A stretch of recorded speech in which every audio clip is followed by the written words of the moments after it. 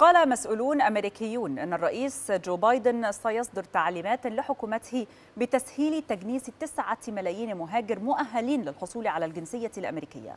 وقال هؤلاء المسؤولون الكبار في الإدارة الأمريكية إن هذه التعليمات ستصدر في سلسلة من المراسيم الخاصة بالهجرة والتي سيوقعها بايدن مؤكدا من خلالها رغبته في مواصلة تقليد الترحيب بالمهاجرين.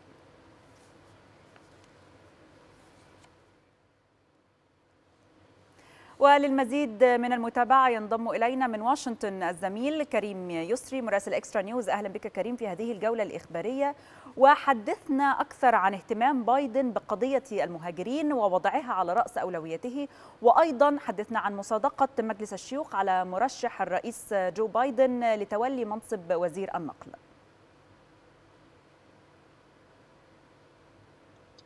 بالفعل نوعا يحاول جو بايدن ازاله عدد كبير من العواقب التي وضعها دونالد ترامب في ملف الهجرة حيث من المفترض أن يوقع اليوم جو بايدن على أمر تنفيذي جديد وهو يعني يزيد فرص 9 ملايين مهاجر متواجدين على الأراضي الأمريكية في منحهم الجنسية، تحديدا في ملف الهجرة اتخذ جو بايدن عدة قرارات وعدة أوامر تنفيذية ربما أبرزها ازاله أو ازاله أو رفع الحظر على دخول عدد من مواطني الدول ذات الاغلبيه المسلمة تحديدا 13 دولة إلى الولايات المتحدة. كان هذا الحظر قد فرضه دونالد ترامب منذ نحو أربع سنوات أو نحو ثلاث سنوات.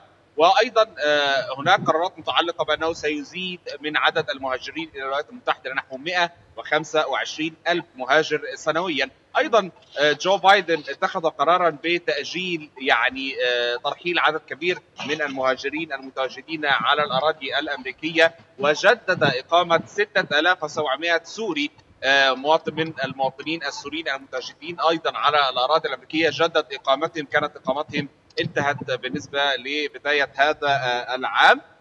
تحديدا جو بايدن يحاول بشكل كبير تنفيذ وعوده وعوده التي خرج بها خلال خطاباته وخلال برنامجه الانتخابي. هذا بالنسبة لملف الهجرة. جو بايدن على الجانب الآخر في مجلس الشيوخ نجد أن المجلس منذ نحو نصف الساعة وافق على السيد بيت بوتيجيج كوزيرا للنقل وعد خامس الشخصيات التي يوافق عليها مجلس الشيوخ بالنسبة لوزراء الذين رشحهم جو بايدن. من المنتظر أيضا أن تكون هناك جلسة أخرى اليوم للموافقة على السيد وزير أو مرشح الخاص بوزارة الأمن الداخلي أليخاندرو مايوركاس وسيكون هو أول وزيرا من أصول لاتينية في وزارة الأمن الداخلي. وبالتأكيد يريد جو بايدن إيصال رسالة أن الأمن الداخلي بالتأكيد معني بملف الهجرة ومعني بملف المهاجرين إن كانوا شرعيين أو غير شرعيين يريد جو بايدن إيصال رسالة بأهمية أبناء